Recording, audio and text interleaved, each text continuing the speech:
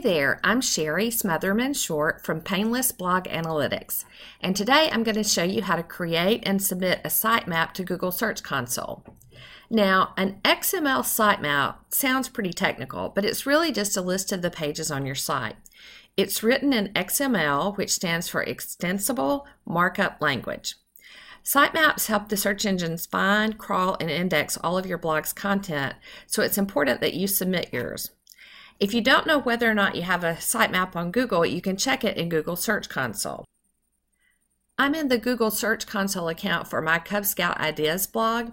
So what I'm going to do is I'm going to click on this sitemaps report and you can see that I do have a sitemap that has been submitted here.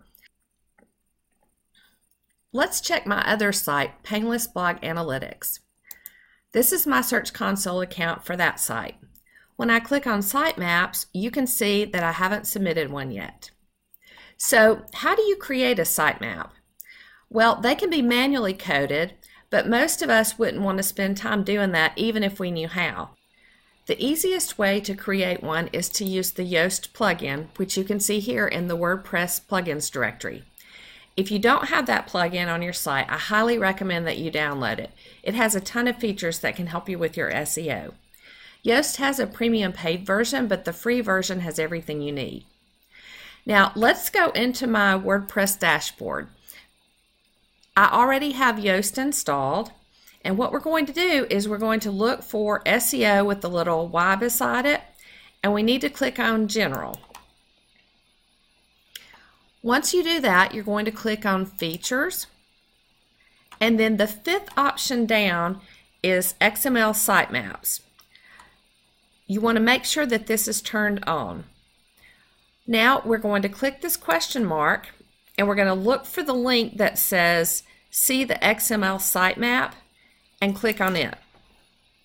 Now this is your sitemap index. Yoast actually creates multiple sitemaps for the different kinds of content that you have on your site such as pages, posts, and categories. And I'm going to copy this URL. Now I'm going to go back to Google Search Console. Since I have both of my accounts open, I want to make sure that I'm in the right one. I need to be in the one for Painless Blog Analytics, which I am. Now I'm going to paste my sitemap index URL right here, and then I'm going to click the Submit button. Now, as you can see, my sitemap has been submitted successfully. As you publish more posts and update old ones, Yoast will automatically update the sitemap. The next time Google crawls your site, it'll see the changes that you've made. And that's all you have to do to create and submit an XML sitemap to Google Search Console. Be sure to subscribe to my channel for more helpful videos. Thanks for watching.